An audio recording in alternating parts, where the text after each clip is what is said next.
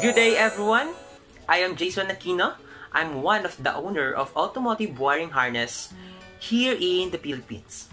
So I created this video because I plan to offshoring part of my business to another country. And later, I will reveal what country it is and compare it to the Philippines. So, if you want to know what country I chose in offshoring my business, just keep watching. Choose Vietnam. Vietnam is located in the eastern part of the Indochina Peninsula in Southeast Asia. The time difference between Philippines and Vietnam is only 1 hour, and it almost 2 and a half hour to reach Vietnam from the Philippines. And since our main supplier is China, supply of raw material in Vietnam is very easy because China is too close to Vietnam. Vietnamese is the official language of Vietnam, and English is the increasing favored as a second language of them. And it may easy to communicate because English is also the second language of the Philippines. And in terms of their work culture, Vietnamese and Filipinos have something in common because they build personal trust outside of the office to increase their teamwork and collaboration.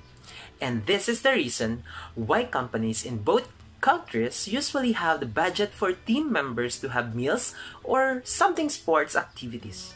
Vietnam and Philippines possess the highest earning industry such as agriculture, manufacturing, tourism, and BPO. But in both countries, manufacturing industry remains to be the most important sector for the long-term productive employment and many service will disappear if manufacturing disappears. And like Philippines, Vietnamese also offer well-educated and cheap labor because both countries focus on education and skills development programs and also healthcare system so many companies can easily to find a skilled labor for manufacturing. The procedure of opening a manufacturing in Vietnam is easy and it's not required a lot of time because the government support and encourage manufacturing companies since manufacturing sector of Vietnam is the major contributor to their economy. So for me, I have the right decision about Vietnam because it's similar to Philippines and the supply of raw material looks to be easy one of the largest economy.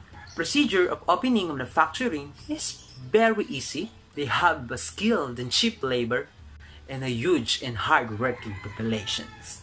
So let us invest to Vietnam. And that's all for today. Thank you for watching.